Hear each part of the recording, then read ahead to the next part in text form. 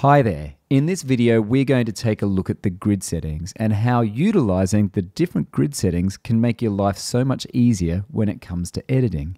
The settings for the grid are all around this area here. So there's two important drop-down menus and then of course we can use the quantize settings to define the grid.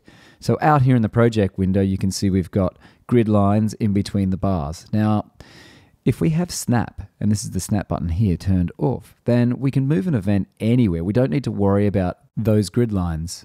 As soon as we turn the snap button on, then this event is locked in to whatever grid settings we have. And at the moment, the grid settings are set to a bar, so I can only move it onto the start of every bar. Now, the first menu we're going to have a look at are the grid settings. So if we click here on this drop down menu, you can see all the different settings. If I move down to grid relative mode, I can only pick up an event and drag it to exactly the same starting position in the next bar. It doesn't make a whole lot of sense to show you with something starting on the bar. So I'm holding down command, I'm just moving this to a random place.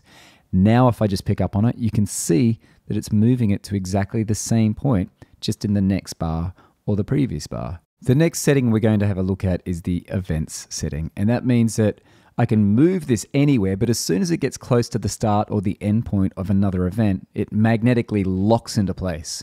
So it's really nice if we want to align different events. The shuffle setting is more something you'd see in video editing. So this means that if I move an event to a certain place, it's going to shuffle the other one along. So if I pick up on this event and drag it to the left, the original event is shuffled to the right, and the event that I've moved is put in its place. In the cursor setting, we can pick up on an event and drag it anywhere and release it and it will stay there. But as we move towards the cursor, the start and the endpoints will lock in to the cursor. Down the bottom, we've got a combination of settings. So for instance, grid and cursor means that it will lock on to the grid unless I go near my cursor, at which point the start and the endpoints will lock onto the cursor. The events and cursor setting means it will magnetically lock onto the start and the end of events and the cursor.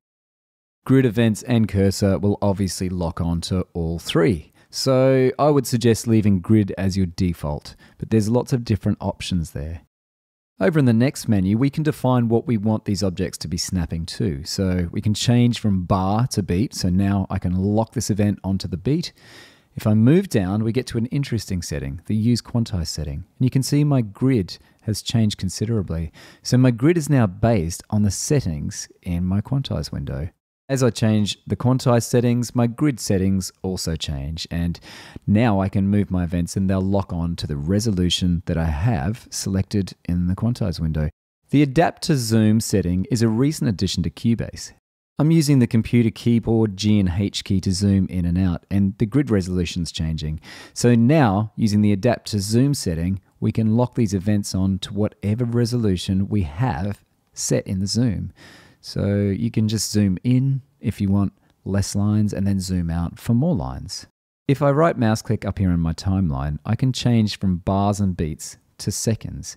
And now there's a new drop down menu up here. And instead of bars, beats, and quantize and zoom, I can now choose a millisecond setting.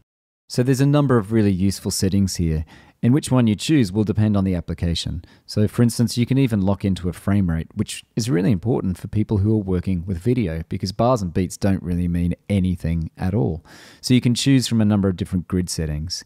If you're working with music, the most important thing is usually going to be bars and beats. So that's pretty much where I would leave my settings. Our grid settings in the project window can affect our editors in the lower zone. So I've double clicked on this event and I'm going to turn on warping.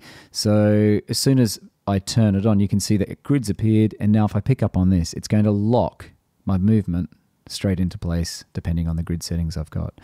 So it's important to make sure that you've got a really firm understanding of how to effectively use this grid because as soon as you figure it out, it's going to make your life a whole lot easier. And that's not just working out in the project window, that's working with pretty much every editor that you have available to you inside of Cubase. Thanks for stopping by. Please give us a thumbs up if you've learned something and subscribe to the Cubase YouTube channel for plenty more videos just like this.